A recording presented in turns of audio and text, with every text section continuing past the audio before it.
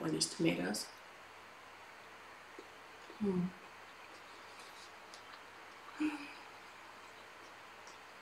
So good.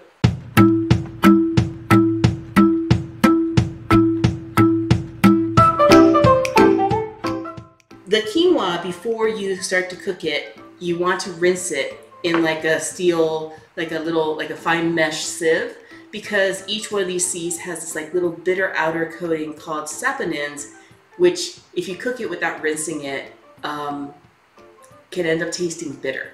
So just put the, um, the dry quinoa seeds into a, a wire mesh sieve and just rinse it under cold water for like 30 seconds and just kind of like rinse it not quite as uh, it's not the same as like rinsing your rice before cooking it but give it a good aggressive like you know rinse underneath some running water for like 30 seconds and then you'll end up with this this goes into a cooking pot of your choice um, because I'm only making this for myself and I'm making like a couple of um, portions worth. This is a half cup of dried quinoa that's been rinsed in um, under running water for like 30 seconds. To half a cup of quinoa, which actually makes like two portions for me, you're gonna add an entire cup of water.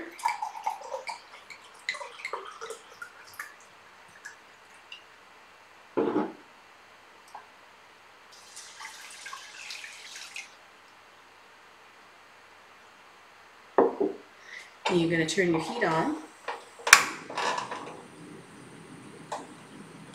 And you're going to bring the water up to a boil. That's going to take a couple of minutes.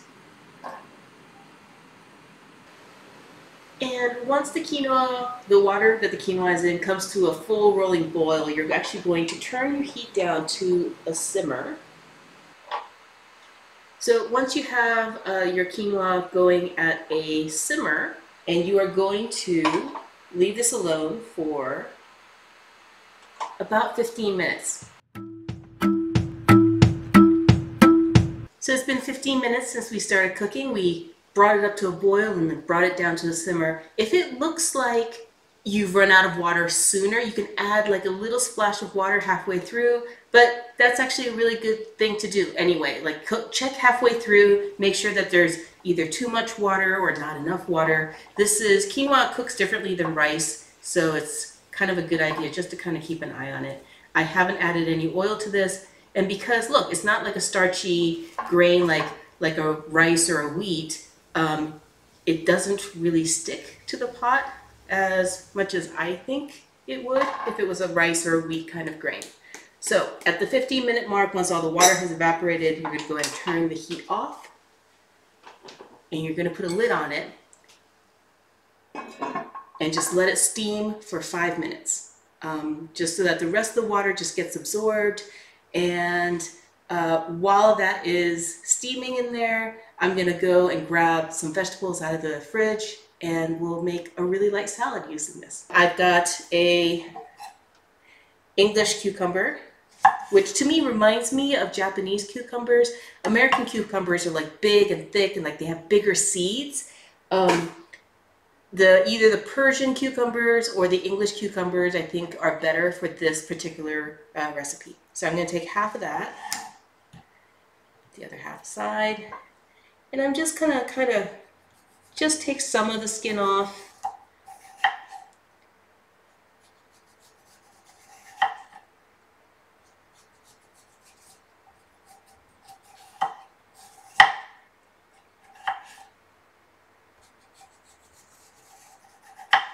And you can leave the peel on if you want completely or remove it completely. That's, that's completely up to you. I'm gonna go ahead and cut this in half and see how the seeds are a lot smaller in these. So it's a little bit easier. You don't get a lot of those like the big cucumber, American cucumber seeds in your in your mouth, uh, which might kind of mess with your mouthfeel. But if you can't find uh, English or Persian or Japanese cucumbers where you are, American cucumbers are just fine. You know, slice these long ways.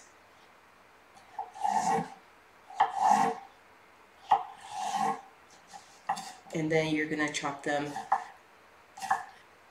This is kind of like a uh, like a Mediterranean version of like an Italian chopped salad. So you want to cut your pieces all um, into kind of things that fit in, uh, onto like a spoon um, and are all kind of like the same size and shape.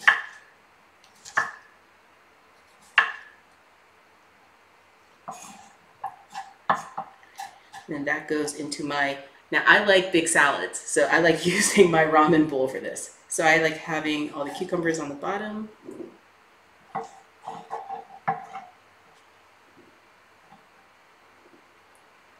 And if you want, you can actually use salad greens as well. I tend to like this kind of chopped salad feel, so I kind of omit the big leafy greens and just kind of stick with like a basic cucumber. Um, you're going to go ahead and add your cooked quinoa on top of this. Now, you can let this chill in the fridge first before you use it in the salad. Um, I kind of like a warmish salad, so I just put this right on top.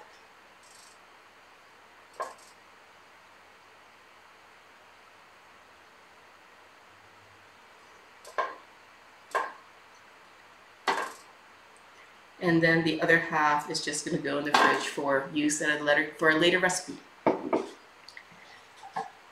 And then take a handful. Now I don't have specific measurements for this. It's kind of a, you know, clean out your fridge kind of salad, but um, go ahead and take a handful of parsley.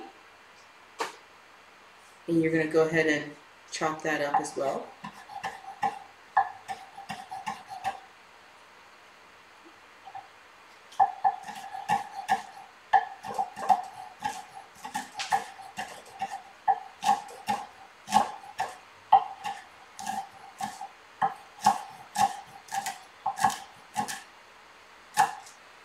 That goes on top. And this is kind of like when you start uh, making it look pretty, if you're gonna, you know, make it for somebody else, um, or even just for yourself. You know, self-care is self-care. So, so once you have that, you're gonna take uh, some fresh mint And these stalks are a little bit more woody than the parsley ones, so I like to make sure that I remove every leaf and get rid of the stems. I'll go ahead and chop that up as well.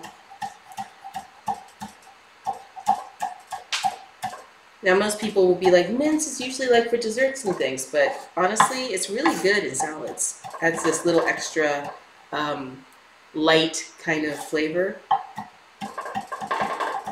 If you don't have mint, you could use basil in this really, really good with basil. Then it becomes more of an Italian flavored salad.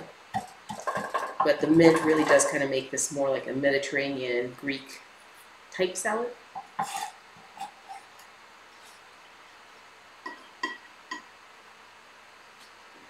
Uh, to this, we're also going to add some chopped. I just bought some roasted, uh, salted pistachios that are already salted, you know, so they're already kind of flavored. Um, they're already shelled. So we're going to add a handful of those. Um, you can add these whole, but again, I kind of like this whole idea of a chopped salad, so we're going to chop these up as well.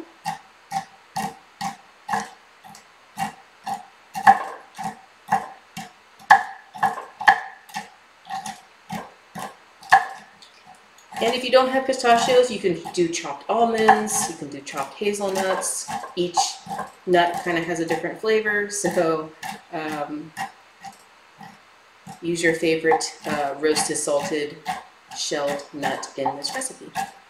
Again, because we're kind of going for like a Mediterranean uh, Greek chopped salad feel, I'm using pistachios.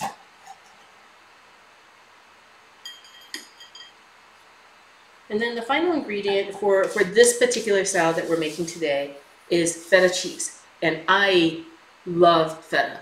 I've done recipes uh, before that are like just watermelon and mint and feta cheese. And that just makes like a perfect kind of sweet and savory salad.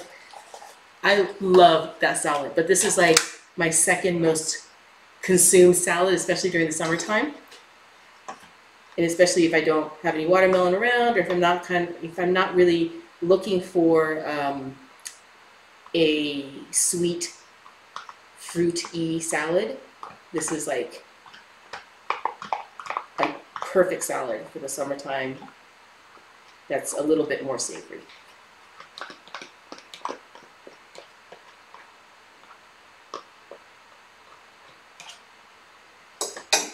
Now you can add sliced tomatoes to this if you'd like, um, for a little extra flavor, if you like tomatoes, um, or not. And so this is this is the base of our salad. All we do here is add a little bit of salt. Not too much salt because that, that feta is already pretty salty. And some cracked black pepper.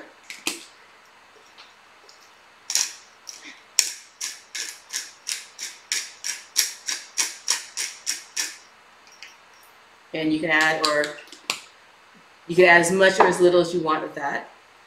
And then to this, we're going to add three spoonfuls. Again, this is this is up to your taste and the size of the salad you're making. So you're gonna, in my case, because I'm making a larger salad, I'm adding three spoonfuls of lemon juice.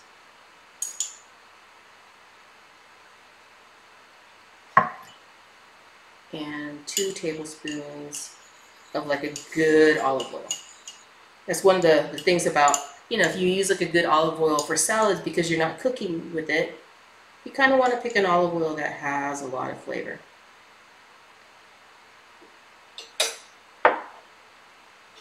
Our salad is done. It didn't take that much time to cook the quinoa. And in fact, you can actually make the quinoa up to five days ahead. It keeps for about a week, not quite seven days, but five days in the fridge. And once you cook the quinoa, it actually keeps in the freezer for up to two months. And then all you have to do is kind of reheat that in the microwave right before you want to eat it. Um, so let's dig in. This looks so good. all you're gonna do is just kind of mix this up.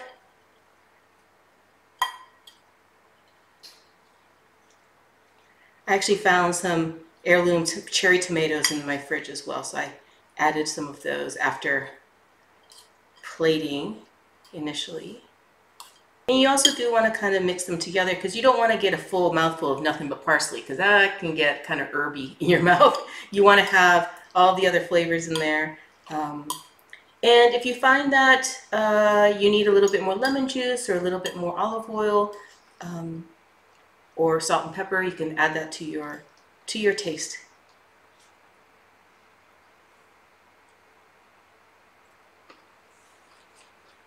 The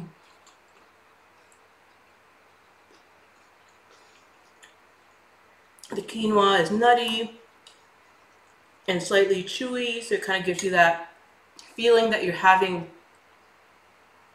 that kind of that carby, I don't know, um, mental boost that you think that you're eating like an orzo pasta or like maybe some rice, but it's quinoa, so it's actually super high in protein, very high in fiber, and lots and lots of vitamins. Mm.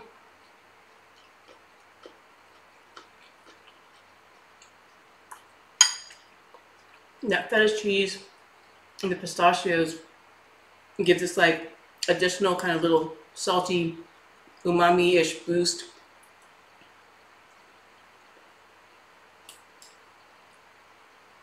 Have one of these tomatoes. Hmm.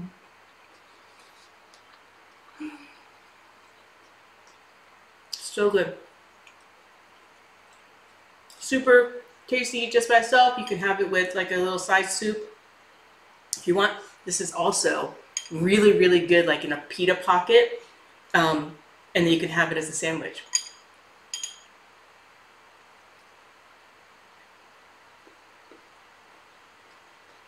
Mm.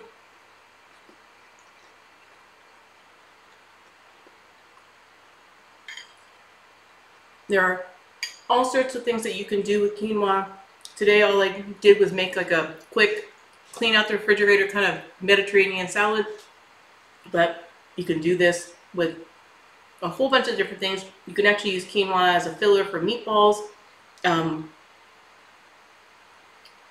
so tasty.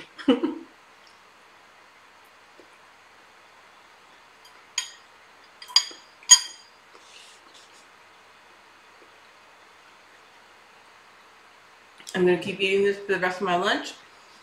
So glad that you joined me. I hope that you give quinoa a shot.